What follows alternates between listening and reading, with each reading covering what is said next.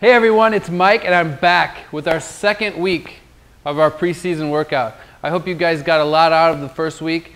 Just a little recap, I talked about hip mobility and how important the hips are in the golf swing and then to get more stability for balance in those hips by using the glutes and that also will help with more mobility in the, hip, in the hips. I talked some core strength and I showed you two great exercises for core strength and then I touched on a little bit of thoracic mobility and then a little bit of shoulder mobility. So I want to, this week we're going to kind of piggyback off of that. We're going to work on some dynamic stretching, which is stretching through movement, and then a little bit of balance through movement that's going to really transfer over in your golf game. And then the other thing that we're going to do today is talk about a little bit of strengthening and more stability for the upper body and a little bit more thoracic mobility. So hope you enjoy it, and I hope you're doing great already on your second week.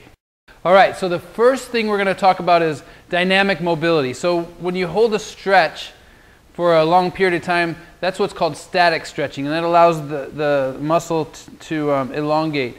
Now we're going to stretch through movement. So this is really working on mainly a mobile joint that we're trying to get a little bit more mobility in through movement. So first one is a hip stretch. So what you're going to do is you're going to pretend you have a hurdle right here. You're going to raise your leg, go over that hurdle, and then step. And then with this, it involves movement. So you're going to do the other one, and then you can just take a few steps forward. And then once we go forward, we're going to go backwards. So the same thing. And with this, you want to lead with the foot. So we're stretching that internal hip rotation on, on that side, and we're going to lead with the foot. So when you're coming over, you're going to lead with the knee, bring the foot up. Now you're, you're stretching the internal rotation on the other side. So that's a great hip stretch to do that. If you're having trouble with your balance, just take it easy, take it slow, or maybe put something next to you, and then just go back and forth this way. But just a great stretch. You can do that before you play as well. So try that one. Do about 15 on each side, and that's going to give you noticeably more mobility in the hip. So one of the best dynamic stretches that you can get for your shoulder turn or thoracic is just taking a golf club and making a turn back and forth just like that. And what that's doing is it's you're getting you turning through the right motion. One thing you want to avoid is, is any leaning with your head. Try and keep your head square, and you're going to turn just like that. It's a great warm up that you can do, and it's a great stretch that you can do for your thoracic spine.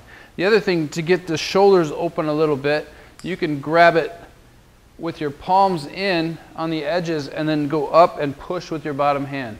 So you're going back and forth both ways and you're pushing to open up that chest. So try both of those, 15 to each side, and then work on keeping your lower body stable after you've done a few, and that'll help with that lower body stability as well. This is the thoracic bridge. I like to tell my clients that this is like opposite of sitting. So you're going to get down on your butt. You're going to have your hands behind your back and your feet at shoulder width. And then you're just going to push up your hip straight up and come down. We're going to do two sets of 10. A great exercise that will mobilize shoulder, activate glutes, and get thoracic extension, something that we don't get when we sit all the time. Hunched over, glutes are off, core is off, and we get the rounded shoulders. The progression of this exercise is to add thoracic rotation. So we're going to be on all four. We're going to put out our leg to the side and then push up in the same way as in the thoracic bridge, but we're going to keep this arm out straight at 90 degrees. So this is a great way to get some thoracic rotation. And we just go over to the side, same thing here. And we're going to do six each side, two sets. The plank is still one of the best exercises we can do for our core, and I'm going to show you a modified version. We're going to start in the push-up position. And from here, we're just going to go out with our leg to the side. We'll go side to side. It's a great exercise for core stability and hip mobility. The progression of this exercise is going to be to almost like simulate a golf swing. So we're going to be in the same position, and then we're going to do backswing, downswing, backswing, downswing. We get the thoracic rotation in the backswing. We get the core stability during the whole exercise, and then we get the hip mobility and hip stability in the downswing. So how's your balance doing? Last week we talked about standing on one leg, and if it was tough for you to set your toe down, and then if you, if you were better with your toe in the air, to add some rotation. So with the progression after you get to that is now we want to we want to take the stable surface that you're standing on out of it. So we're going to use the Bosu Elite from Weck Method, and I'm going to stand right on the top of it, and now I have no stability from the ground. So now I have to use the ankle, the knee, and the hip to really stabilize. So this is just a progression from standing on the ground, and then once you can do that, you can start to add rotation in.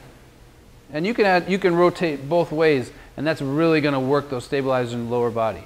So once you've mastered standing on one leg on the ground with rotation, try adding some instability. You can use a pillow at home. You can use anything that you can find that you're going to be safe on. But I do recommend the Bosu ball. It's an awesome piece of equipment for instability in your workouts. All right, so there's our second week of our preseason program. So what we've done is we piggyback off last week. We added some mobile stretches, some dynamic exercises that'll help with your mobility in your upper back and your hips, and then some more balance work. And then we also included our all-star trainer Leo Rooney to demonstrate some exercises. Um, next week, we're going to bring more. So we're going to add to that. We're going to add a little strength stuff. So we're going to we're going to strengthen the muscles that are really important in the golf swing. So let us know if you have any questions as you're doing these. We'd love to hear your feedback. And if not, we'll see you next week for some strength exercises.